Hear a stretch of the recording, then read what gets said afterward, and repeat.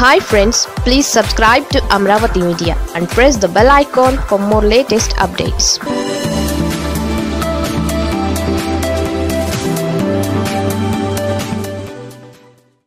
ఉన్న ఆ ఒకే ఒక్క నేత జంప్.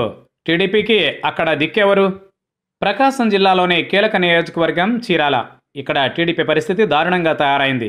ఇక్కడ నుంచి ప్రాతినిధ్యం వహించిన నాయకులు పార్టీని పట్టించుకోవడం మానేసి వ్యక్తిగత విషయాలు వ్యాపారాలకు ప్రాధాన్యం ఇస్తున్నారు. ఈ నేపథ్యంలో ఇక్కడ పార్టీని పట్టించుకునేవారు కరువయ్యారనే వాదన కొన్నాళ్ళుగా వినిపిస్తోంది. రెండు వేల పంతొమ్మిది ఎన్నికలలో ఇక్కడి నుంచి గెలిచిన కరణం బలరాం కూడా పార్టీని వీడి వైసీపీకి మద్దతుగా మారారు. పైకి ఈయన వైసీపీలోనే ఉన్న టీడీపీ నేతగానే చలామణి అవుతున్నారని అంటారు. కానీ జగన్ మాత్రం ఇలాంటి చర్యలకు ఎట్టి పరిస్థితుల్లోనూ అంగీకరించారు కనుక ఆయన భయం భయంగానే ఉన్నారు. ఇక ఎన్నికలకు ముందు వరకు టీడీపీలో ఉన్న మాజీ ఎమ్మెల్యే ఆమంచి కృష్ణమోహన్ ఎన్నికల సమయంలో వైసీపీలోకి వెళ్ళిపోయారు. ఇక ప్రస్తుతం టీడీపీకి చీరాల ఇన్ఛార్జిగా ఎడం బాలాజీ ఉన్నారు. అయితే ఈయన మూలాలు వైసీపీలోనే ఉన్నాయి. అమెరికాలో సాఫ్ట్వేర్ సంస్థ నడిపే బాలాజీ రాజకీయాలపై ఆసక్తితో రెండు వేల పద్నాలుగు ఎన్నికలకు ముందు వైసీపీలో చేరారు. అనంతరం జగన్ను మచ్చిక చేసుకుని రెండు వేల పద్నాలుగులో వైసీపీ టికెట్ సంపాదించారు. అయితే అప్పటి ఎన్నికల్లో ఆమంచి కృష్ణమోహన్ చేతిలో ఓడిపోయారు. ఆ తర్వాత చీరాలలో బాలాజీయే వైసీపీకి పెద్ద దిక్కయ్యారు. రెండు వేల పంతొమ్మిది ఎన్నికలలో బాలాజీ మరోసారి పోటీకి సిద్ధమైన ఆయన దూకుడుపై వైవి సుబ్బారెడ్డి వంటి వారు ఫిర్యాదు చేయడంతో ప్రక్కకు తప్పించారు.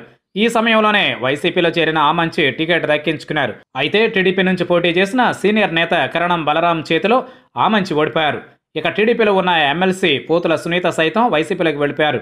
టికెట్ రాకపోవడంతో ఎన్నికలకు ముందే బాలాజీ వైసీపీకి గుడ్ బై చెప్పి టీడీపీలో చేరారు.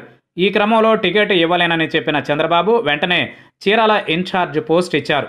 ప్రస్తుతం చీరాల టీడీపీలో బాలాజీ ఒక్కరే మిగిలారు. ఏడాదిగా ప్రతిపక్ష పార్టీ కార్యకలాపాలను ఆయనే నిర్వహిస్తున్నారు. వాస్తవానికి చీరాలలో టీడీపీకి బలమైన నాయకులు ఉన్నారు. పోతుల సునీత కరణం పాలేటి రామారావు వంటి వారు చక్రం తిప్పారు. అయితే వీరంతా వైసీపీలో చేరిపోయారు. దీంతో బాలాజీ కూడా ఇప్పుడు సంస్థాగతంగా టీడీపీని బలోపేతం చేయడం కష్టమని భావించినట్లు తెలుస్తోంది. ఈ క్రమంలోనే తిరిగి వైసీపీ గూటికి చేరేందుకు ప్లాన్ చేస్తున్నారని పెద్ద ఎత్తున ప్రచారం జరుగుతోంది.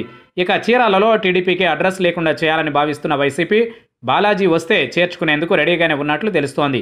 బాలాజీకి మంత్రి బాలినేని శ్రీనివాసరెడ్డి మధ్య స్నేహం ఉండడంతో ఆయనను చేర్చుకునేందుకు జగన్ అడ్డు చెప్పరని కూడా ప్రచారం జరుగుతోంది. ఇదే జరిగితే టీడీపీ అడ్రస్ గల్లంతేనని అంటున్నారు పరిశీలకులు.